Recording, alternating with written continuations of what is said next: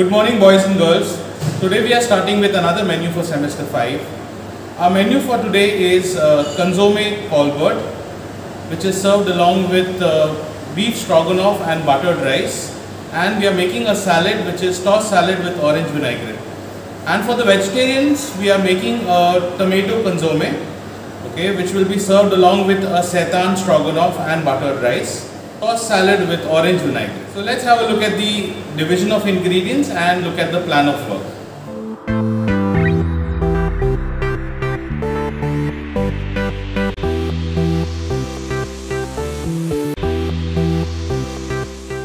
So for the consomme we have a brown stock along with which we have some ingredients for the clear meat mixture.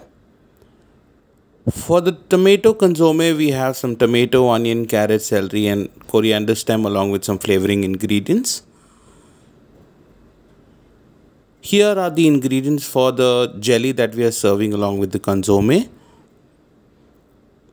We've got some quail eggs also for the consomme colbert. Here are the ingredients for the beef stroganoff. Here are the ingredients for the seitan stroganoff. Seitan is the mock meat that we are using for the stroganoff. These are the ingredients for the buttered rice. We are using long grain rice along with vegetables. These are the ingredients for the orange dressing that we are preparing and serving along with the salad. These are the vegetables that we are serving as a part of the tossed salad. So let's look at the plan of work. It's important to occupy the gas ranges at all times. So we start off by reducing the orange juice for the vinaigrette. To the orange juice we are going to add some cinnamon and clove and allow it to simmer till it reduces. Simultaneously on the other gas we are going to keep water for boiling and get the vegetables ready.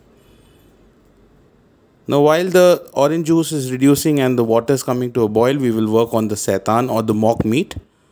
For preparing the seitan or the mock meat, here we've taken around 500 grams of refined flour. To the refined flour, we've added water, no seasoning required. Just mix in water. Lightly mix all the ingredients inside the bowl and then slowly transfer it onto the table. Once we've transferred it onto a table, we are going to knead it into a soft dough in order to form the gluten.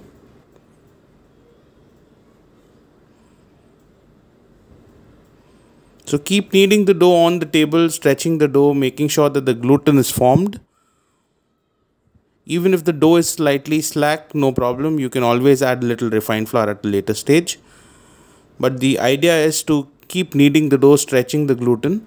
The mock meat that we are preparing is completely made out of wheat gluten. So it's important that we stretch the dough and form a, a nice gluten strands. So keep kneading the dough, keep stretching the gluten strands until we get a nice and soft dough.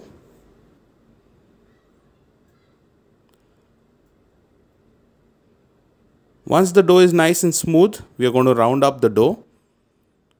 In case it is sticking to your hand, use some water, apply some water onto your hand and just round up the dough. Once the dough has been rounded up, we are going to transfer it back into the glass bowl. And we are going to cover it with water. Now the gluten has been worked on, so we need to rest the dough for almost a couple of hours before we can start working on. So we cover it with water, put a muslin uh, cloth or a cling wrap and keep it aside. Next we start working on the vegetables for the salad. So here we've got some variety of lettuce leaves. We've just washed the lettuce leaves. We've got some romaine, we've got frisee, we've got lollo rosso and iceberg. So just place all the leaves inside the bowl of water and we are going to keep it inside the refrigerator for it to become nice and crunchy. Once we've left it inside the refrigerator for around half an hour to 40 minutes, we are going to drain out the excess water and put it back inside the refrigerator. Simultaneously, we are going to work on the vegetables for the salad. So we've got some broccoli here. I'm just going to cut the florets of the broccoli. Again if they are broken down into smaller pieces and already into the desired size no problem. But further we need to just break them down into smaller broccoli florets. Once we've cut the broccoli just transfer it onto a clean plate. Simultaneously we've got some asparagus. The asparagus tips have to be cleaned and we have to cut them all into similar sizes so I'm just cutting here at a slant once the asparagus has been cut, I'm going to transfer the asparagus along with the broccoli and this will be kept aside which needs to be boiled. So as you can see here the orange juice has been simmering for a while. Continue simmering on a slow flame till we get a syrupy consistency. Also the water has come to a boil at this stage if you want you can add some salt and sugar to the water and add in the vegetables. So here I've dropped in the broccoli inside the boiling water. I'm also going to drop in the asparagus. Now the asparagus will take around 20 to 30 seconds to boil. So we'll be removing the asparagus after 30 seconds. The broccoli might take around one, one and a half minutes for it to boil. So as soon as the asparagus is cooked, I'm just going to fish out the asparagus and put it in a bowl with ice cold water.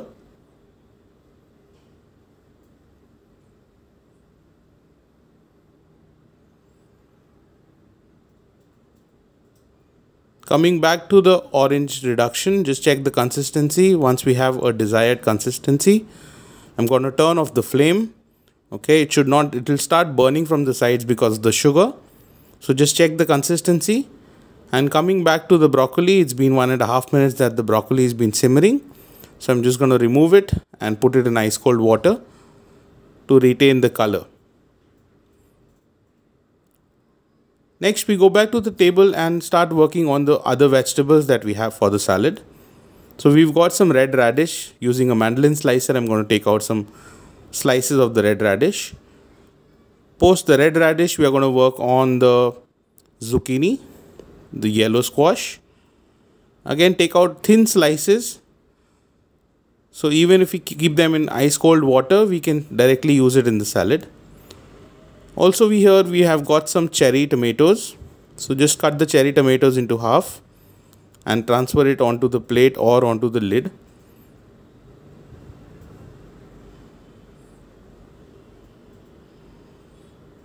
now what we want is we are going to just lightly roast the cherry tomatoes. So we're going to transfer the cherry tomatoes onto a lid or a pie dish okay? At the same time we will transfer the pine nuts. We need a little crunch or a little a little texture from the pine nuts. So we are going to roast it in the oven as well. So just lightly drizzle some oil onto the on the cherry tomatoes. Just sprinkle some salt and pepper. And this lid goes inside the oven at around 160 degrees celsius for around 7 to 8 minutes till the tomatoes become slightly roast charred or slightly roasted and the pine nuts also become nice and crisp. So coming back to the orange vinaigrette here is the reduction that we prepared using the orange juice.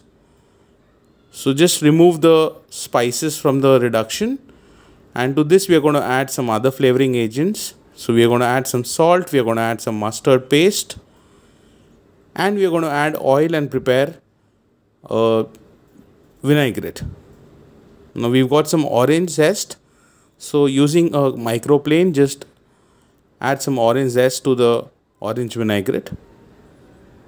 So while we are adding the olive oil, we are going to just whisk it can prepare a vinaigrette. Now since we are using this dressing to pour over the salad, we want the dressing to be a, a little thin. So while preparing the vinaigrette, we figured that the dressing was getting thick, so we added some orange juice to make it thin again. So once this is ready, we will transfer it into a a service container or into a bowl and this will go inside the refrigerator along with the other vegetables for the salad. Similarly, the orange that we have in hand, we are going to remove orange segments out of it. So just cut the ends of the orange, remove the outer peel of the orange.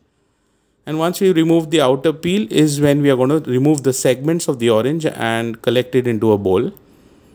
Again, the segments of the orange will be kept along with the ingredients for the salad.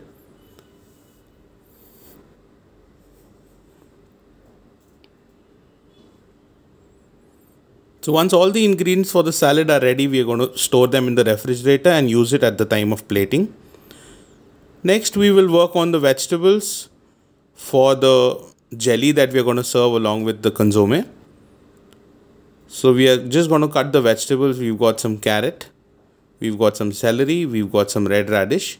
So I'm going to neatly dice the, the vegetables and then I'm going to blanch them in salted boiling water. So once the carrot is done, work on the celery. Again, neat dices are something that we are looking for. Again, you can choose whatever vegetables that you want. Primarily for the consomme that we are preparing, consomme colbert, it's served generally served along with a jelly and a poached egg. So the jelly that we are preparing, we are using some vegetables. So here we are just neatly dicing the vegetables that we have. And once these vegetables have been diced, we are going to blanch it in salted boiling water. We did, did not cut the baby corn at once. We waited. We will boil it in water first and then cut roundels of the baby corn. This prevents wastage. Again, the baby corn does not take much time to cook. Run another couple of minutes and we remove the baby corn. And we're going to cut the roundels of the baby corn.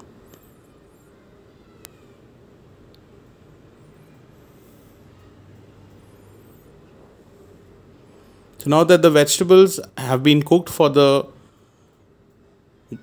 jelly, you're going to transfer the vegetables or neatly arrange the vegetables in the mold. Here we are using a donut style mold for the for the jelly that we are preparing. But you are free to use any kind of mold. Okay, you should be able to demold the, the jelly at the time of service.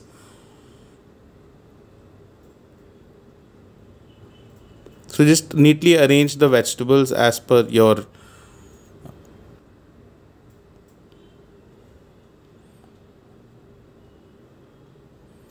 So once the vegetables have been neatly arranged in the mold, we are going to prepare the, the jelly. For the jelly, we've got some vegetable pot liquor that we had while boiling the vegetables.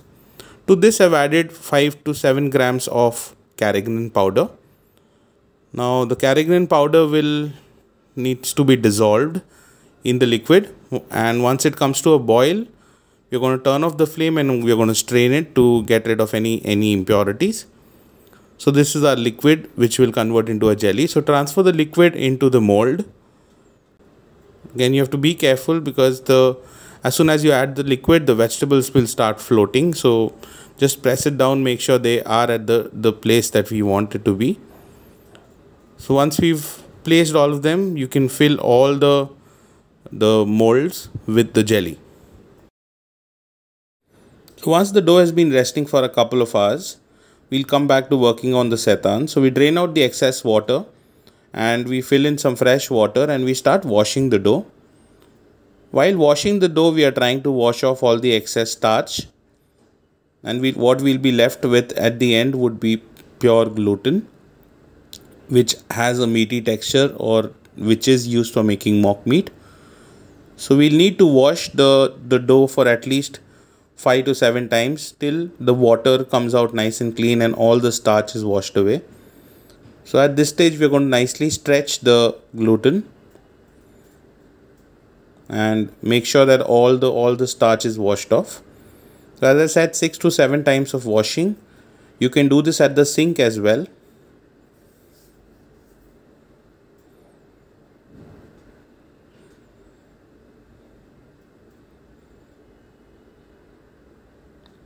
So towards the last batch of washing, if the water comes out nice and clean, it's not as milky as this, we'll stop the washing process and we're going to drain out all the excess water. So as you can see here, this is the last batch of washing where the water is comparatively cleaner. It's not as cloudy or as milky. And what we have left over is the, the pure protein.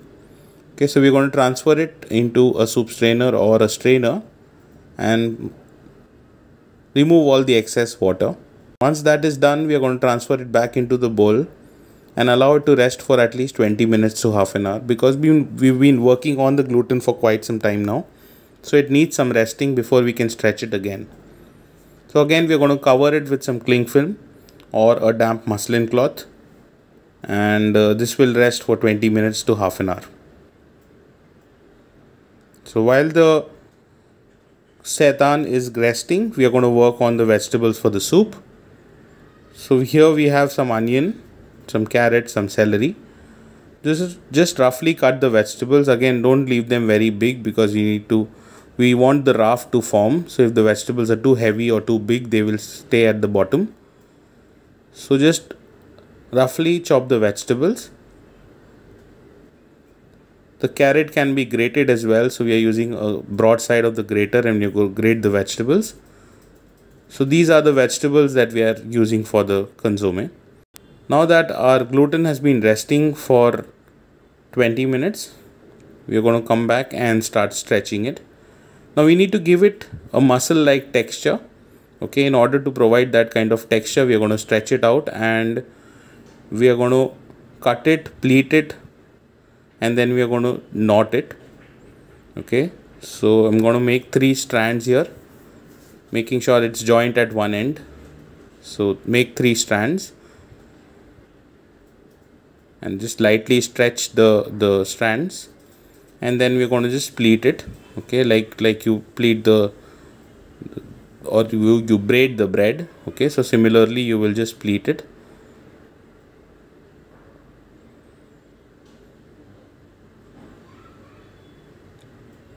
so once we are done with the pleating you can see it has a muscle like texture okay? Post that we are going to just knot it okay? Knotting again gives that similar kind of texture.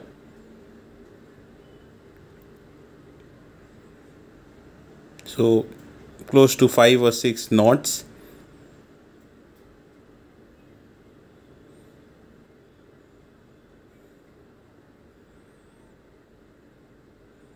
as you can see here this is our seitan this needs to rest for another 15-20 minutes before it goes inside a, a stock for simmering. So we prepared a, a vegetable stock with the Maggi stock cubes that we had in hand. And this is going to simmer for at least a, at least an hour. So we're going to work, come back to the soup. So let's start working on the consomme. Now for the consomme I have taken a cold vessel okay or a vessel at room temperature to which I've added the mincemeat to which I've added some water or the brown stock. We are going to add all the ingredients while the vessel is off the flame. I'm just I've just kept it here on the gas but the flame is off. Okay so prepare the clear meat mixture. For the clear meat mixture we have the lean mince meat. We've got some onion carrot celery. We have got bay leaf peppercorn. We've got the egg white we have some egg white stuck to the eggshell so we're going to just add the eggshell as well. We've got some salt and to help the proteins coagulate faster we've got some vinegar. So once the clear meat mixture is ready we're going to just mix it together and we're going to add the brown stock which needs to be clarified. So add around a liter of brown stock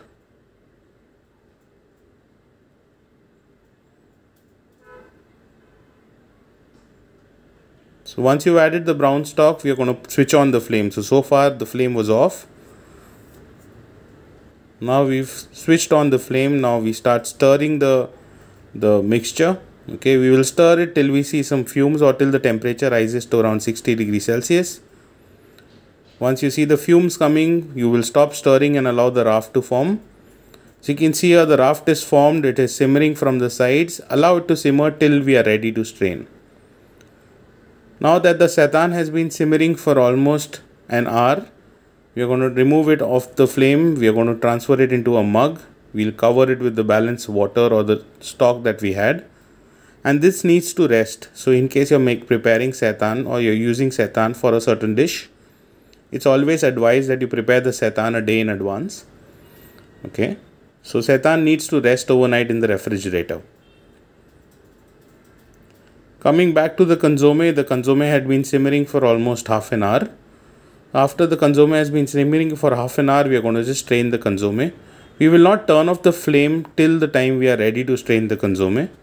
So here we are using a, a four folded muslin cloth for straining. So directly straining it into a mug. Look at the clarity, look at the color. the half an hour of simmering is to extract all the flavor from the meat at the same time to concentrate the flavor. Now that the consomme is ready, we will work on the tomato consomme.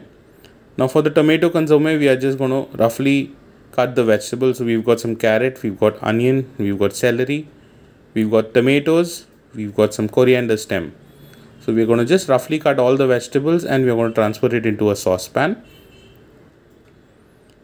For the tomato consomme, we are, we are preparing a tomato broth. Okay, some, something similar to a rasam that you would prepare. So we are preparing a tomato broth and then we are going to try and clarify that to form a tomato consomme. So just roughly cut the vegetables.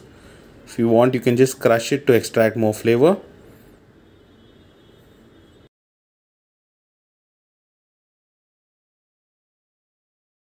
So now that the vegetables for the tomato consomme are ready, we are going to start with the broth. So as I said, transfer the vegetables into a saucepan. So transfer all the vegetables at once. Once we've transferred all the vegetables, we are going to cover it with water. So just enough water to cover the vegetables. So here we will be using around 750 ml to a liter of water. Once we've added all the vegetables, once we've added the water, we're just going to add in the Maggi stock cubes that is going to provide a nice earthy flavor to the broth that we are preparing. And once that has been mixed in, we are going to put it on flame and stir it well. Once we've stirred it well, we are going to simmer it for around half an hour to 40 minutes till the vegetables are cooked and all the flavor from the vegetables has been extracted into the broth. So allow this to simmer on a slow flame. Once it's been simmering for around half an hour to 40 minutes, we are going to strain the, the tomato consomme. Again, we will not use a round spoon to press the vegetables. We will just shake it, make sure that the tomato consomme is not too cloudy. Now what we are going to do is uh, we are going to use some alum. Okay, so we're going to just stir the alum. So the alum will collect all the impurities or all the sediments and go settle at the base of the vessel. Once we've left it for around 15 to 20 minutes, we are just going to strain it again using a four-fold muslin cloth. Okay, again all the impurities as you can see here are settled at the base of the vessel. So we will not invert it completely. Okay, try to take out the maximum consomme that we can. Okay, and once we've removed the tomato consomme, as you can see here, the liquid is nice and clear so store the consomme at the lower deck of your table and start working on the on the beef stroganoff. So as you can see here, this is the undercut or the tenderloin of the beef. Now towards the right part of the screen, you have the head of the tenderloin and towards the left is the tail of the tenderloin. The head of the tenderloin is towards the tail of the animal and the tail of the tenderloin is towards the head of the animal. So we will start processing the tenderloin. We'll cut off the head part and uh, once we've removed the head of the tenderloin is when we are going to work on removing the silver lining okay the, the shiny silver lining that you see in front is the is the fibrous uh, part which needs to be removed. So we're going to use the knife again sim something similar to the filling process that we do. Okay so we're going to get rid of all the silver lining. If we do not get rid of the silver lining it becomes very chewy the meat becomes very chewy and becomes very difficult to serve so get rid of all the silver lining get rid of all the excess fat and then we will process.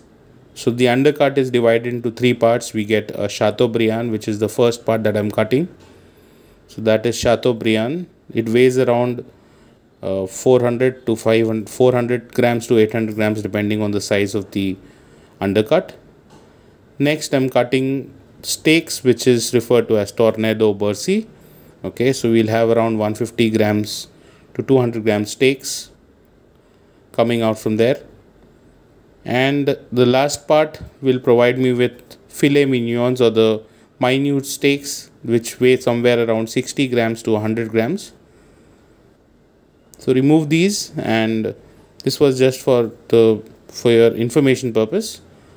What we are going to do is we are going to work on the the big piece of meat that we have that is the chateaubriand and we are going to cut out strips from from the from that.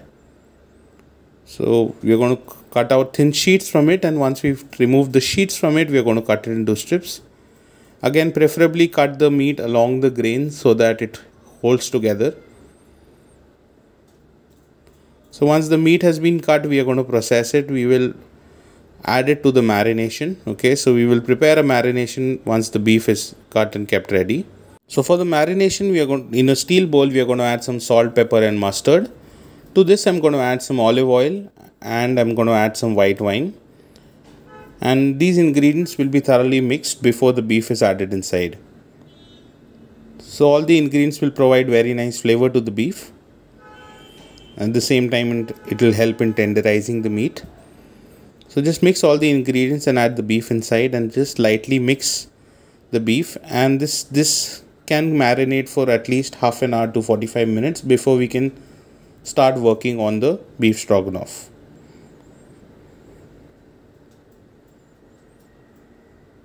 So while the beef is marinating, let's work on the vegetables for the stroganoff.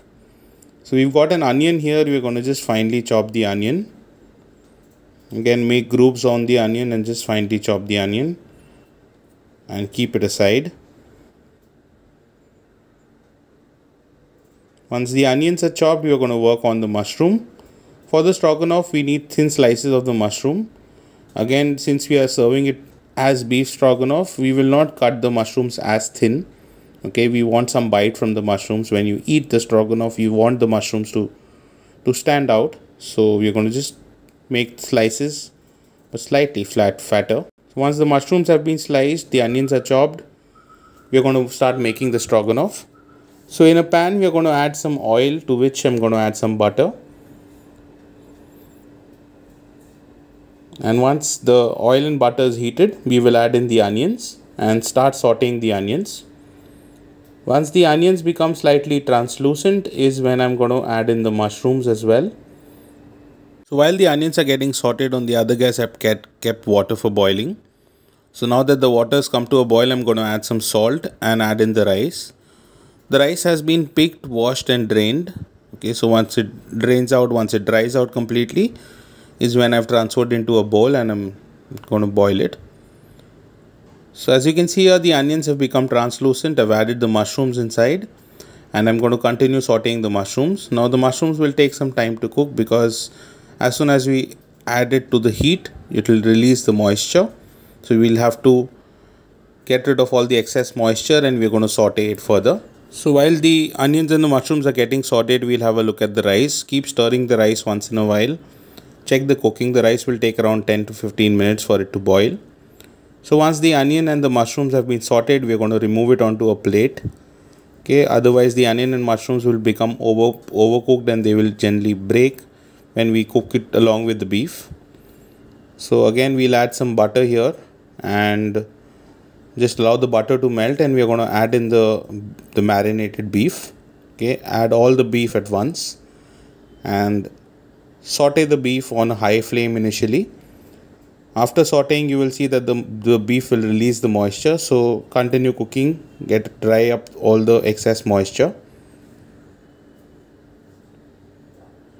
as you can see here the meat will start to cook. It will change its color. It will change its color. It will sh shrink. So while we are cooking the beef just again check the rice. The rice seems slightly undercooked so continue cooking. So while the beef is sauteing and the rice is cooking we can go back to the table and work on the other ingredients. So we've got some garlic which we are slicing for the buttered rice and remaining garlic to be chopped. The sliced garlic will be used as a garnish and the remaining finely chopped garlic will be used for sauteing in the buttered rice. Simultaneously we've got some celery we've got some carrot we've got some colored capsicum. So all vegetables to be cut into neat dices at the same time while we are working on the table just have a look at the rice which is boiling at the same time just check the beef okay make sure that the beef is not burning and the rice doesn't get overcooked so we continue cutting the vegetables for the buttered rice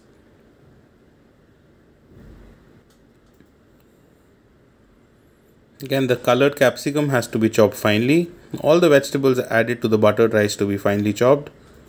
Again, we'll keep it or arrange it on the plate in the sequence in which it will go inside the pan. So continue chopping the vegetables and arranging it onto the plate. Once we are done cutting all the vegetables for the buttered rice, we will move on to preparing some parsley dust or parsley powder.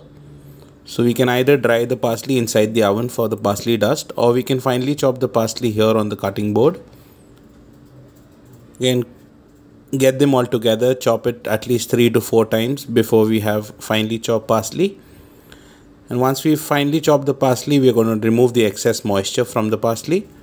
So we'll transfer it onto a duster, a clean duster, squeeze out all the excess moisture from the parsley and then transfer it onto a plate. So our parsley dust is ready.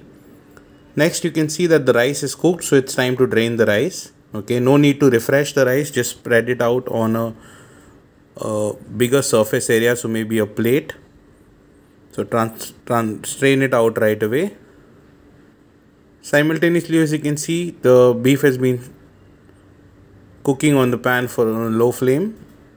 So we'll add some white wine to help deglaze all the flavor that is stuck to the base of the pan so just mix it well and it's time to add in the mushrooms and the onions once we've added the mushrooms and the onions we will just mix it together. The beef is almost cooked. We just need to convert the the mixture into a beef stroganoff. To, to this we will add some stock that we had prepared earlier. So just add the stock and to this we will add will be adding the the cream. So around 3 to 4 tablespoons of creme fraiche. So in a lot of books you'll find the traditional recipe for beef stroganoff calls for sour cream. Uh, you can add sour cream but then you you have to make sure that you do not boil the sour cream. Or in order to imitate the flavor of sour cream we can add normal fresh cream and we've already added white wine to it. So the flavor will profile would be completely similar. So just add more cream just to check the consistency once all the cream has been added. Check the seasoning and add the remaining butter which will provide very nice glossiness to the stroganoff at the same time provide a nice creaminess to the sauce. So mix well and turn off the flame and keep it aside. Next we look at the buttered rice. So for the buttered rice i'm preparing the garnish for the buttered rice which is the garlic chips. So i've taken some oil in a pan heated the oil and add in the garlic slices Fry the garlic till light golden brown in color and remove the garlic chips. This will be added to the rice towards the time of plating. Next we will take some butter, so around 2 or 3 blocks of butter. Melt the butter again, allow the butter not to brown and add in the vegetables. So we will add in the garlic and fry the garlic. Once we the garlic is slightly fried, then we're going to add in the tougher vegetables so we've got some carrot and celery that we're going to add in first. So once the carrot and celery have been added, we will allow it to saute a little. So we will saute it for a minute or so before adding the other vegetables. Now because the vegetables have been chopped finely, it does not take much time to cook, but still it needs a little glaze. So we're, we're going to just saute the vegetables. Once the vegetables are sauteed, we'll add in the colored capsicum just lightly toss the colored capsicum and then we are going to add in the rice.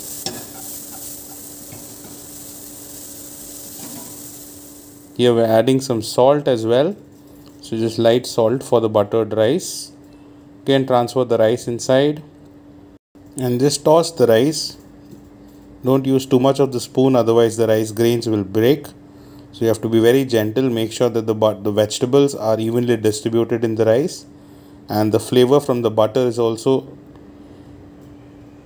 mixed well with the rice.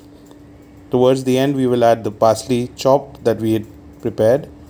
So parsley powder to be added towards the end. Again parsley powder to be added towards the end and we turn off the flame. Otherwise the parsley will turn black. So our buttered rice is ready. Next we will go back to the seitan we need, we need to remove the seitan from the liquid. So we're going to work on the seitan stroganoff. The same technique or the same process that we use for the beef stroganoff is going to be used for the seitan but before that we need to process the seitan so there are two ways of processing the seitan one is by using a knife and following the same technique that we used for beef where we cut it into sheets and then further cut them into strips the other way to process it would be by pulling pulling out the seitan along the the lines that we see thereby giving a very good meaty sort of a texture. And you can see the grains also along which it breaks. So this looks more uh, rustic and meat like structure. So for today's preparation I have used uh, the pulled seitan in the stroganoff. So when you bite into it when you look at it it has a very similar meat kind of a texture. So the preparation is also similar. Heat butter. In the butter we are going to add in the onions. Once we add in the onions we are going to saute the onions till it becomes translucent. Once the onions are translucent I'm, I'm going to add in the mushrooms. And once the mushrooms are added we are going to saute the mushrooms till the moisture from the mushrooms comes out. We are going to allow the mushroom moisture from the mushrooms to dry out and then we are going to add in the, the marinated seitan. Now here the seitan is already cooked. So there is no need for us to remove the mushrooms and add the seitan. We can directly add the seitan saute it. And once it's sauteed slightly then we're going to add white wine to deglaze the pan. So any any flavors that are stuck to the base of the pan can be extracted. Once the deglazing of the pan is done then we're going to add some vegetable stock and we're going to add in cream.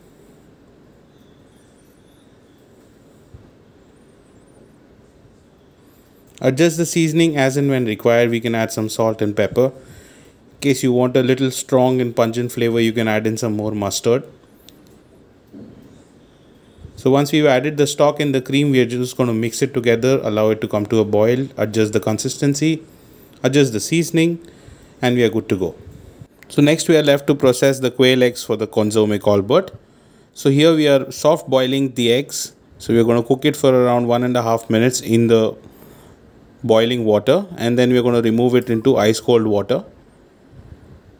Once we've removed it in the in the ice cold water and once the eggs have slightly cooled down we are going to shell the eggs and then transfer it onto a, a small bowl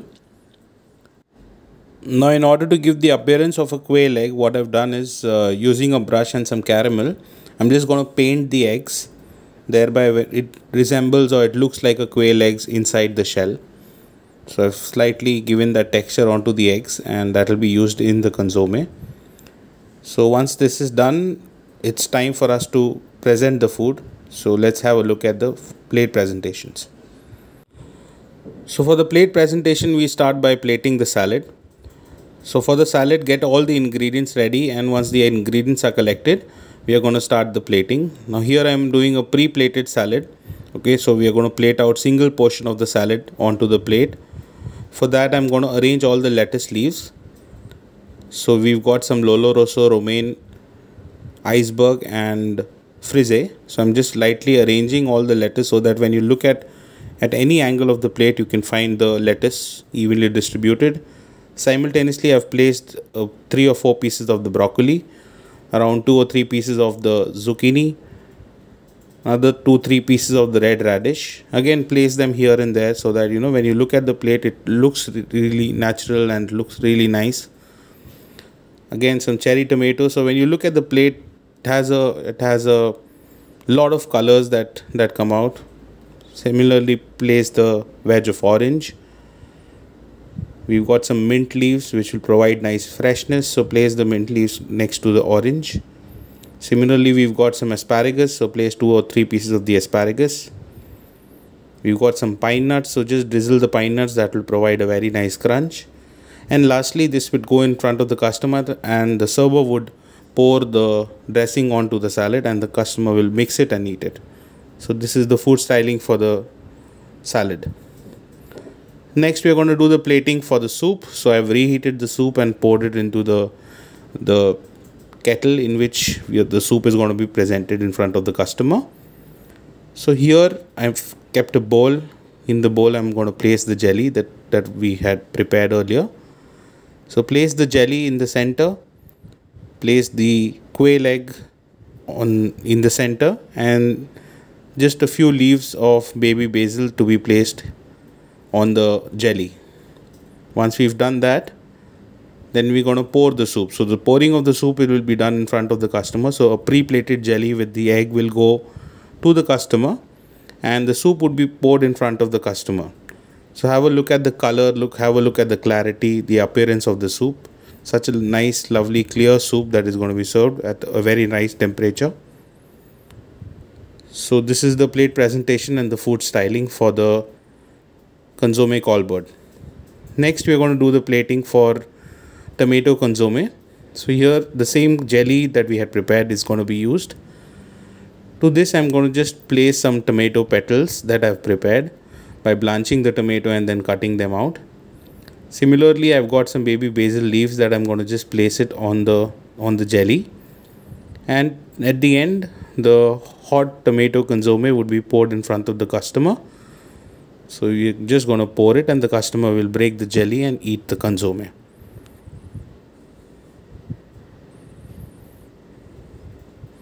So a very simple yet elegant plate presentation and the food styling for the tomato consomme. And lastly, we're going to plate the stroganoff. So we've got some pieces of the beef that we're going to place in the center. Again, try to make up make a pile. Again, a very simple kind of presentation. So we are using a pan here. So we are placing the, the beef here and then using a ladle, we are just going to pour the sauce along the side. You can just drizzle some paprika on top and the plate presentation for the beef stroganoff is done. Beef stroganoff is being served along with the buttered rice. So just plate the buttered rice on the side. And then using the garlic chips, you are just going to drizzle a few garlic chips on the side. So when you serve the rice and when you're consuming the rice, you will get a nice bite of the garlic.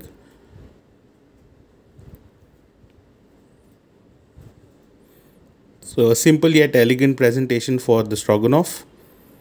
So this is the food styling for the stroganoff same food styling for the seitan stroganoff.